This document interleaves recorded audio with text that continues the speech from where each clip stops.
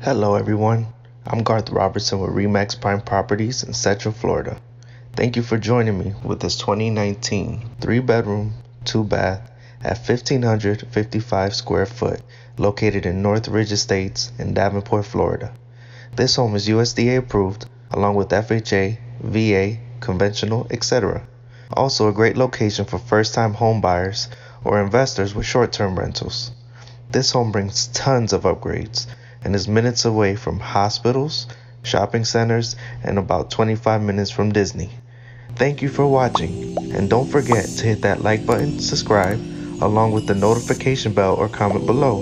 Reach out to me if there's anything I could ever do for you. Have a wonderful day.